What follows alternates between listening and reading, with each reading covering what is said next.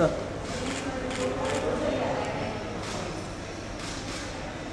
I think इस बहुत ज़रूरी होता है, क्योंकि मेरे ख्याल से एक तो है कि अपनी अपॉर्चुनिटी मिलती है, जो एस्पायरिंग होते हैं फ़िल्म मेकर उनको डायरेक्ट एक्सेस नहीं होता बड़ी फ़िल्म बनाने के लिए, या इतनी जो जो पैसे होते फंड्स होते, वो नहीं होता है।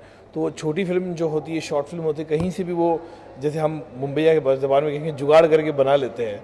तो I think it's a good initiative and I am happy for DNA कि उन्होंने ऐसा इनिशिएटिव लिया है कि शॉर्ट फ़िल्म की आप दिखा रहे हैं, वो इंट्रैक्ट करके, और कितने प्रोड्यूसर्स हैं, कितने ऐसे मेकर्स हैं, वो चाहेंगे कि अगर कोई अच्छा कॉन्सेप्ट अच्छा सब्जेक्ट शॉर्ट फ़िल्म में भी दिखाई दे, एक फुल फ्रेश फ़िल्म बन सकती है। फ़िल्म के अलावा कहीं और शॉर्ट फ़िल्म मतलब नज़र नहीं ऐसा बिल्कुल नहीं है। मेरे ख्याल से शॉर्ट फ़िल्म का जो होता है, कहीं बार मैं मैं इतने फेस्टिवल में जाता हूँ तो मैंने देखा है कि कई बार शॉर्ट फ़िल्म कैटेगरी जो होती है, एक सेपरेट कैटेगरी है चाहे हमारे राष्ट्रीय पुरस्कार पे जब हम बात करें नेशनल अवार्ड्स की बात करें तो कितनी शॉर्ट फ़िल्म को अवार्ड मिला जाता है। शॉर्ट फ़िल्म की बात करें, मैं खुद इजिप्ट फ़िल्म फेस्टिवल में एज ए जूरी मेंबर था, मैं इंटर इंडिया को प्रेजेंट कर रहा था तो वहाँ पर भी शॉर्ट फ़िल्म थी। तो ऐसा नहीं कि नहीं है, उसका एक डेफिनेट है और मेरे ख्याल से अवेयरनेस जो आई है मीडिया के माध्यम से लोगों के माध्यम से ट्विटर के माध्यम से या फेसबुक के माध्यम से वो ज़्यादा जागृत हुआ है आज की तारीख में जो पहले नहीं था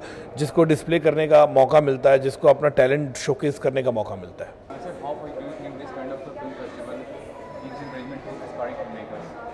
I think any initiative which gives you a platform to showcase your talent uh, will always be a source of inspiration for filmmakers. And this is a great platform. You saw the audience fully packed with uh, uh, all aspiring wannabe filmmakers. So this is a great initiative.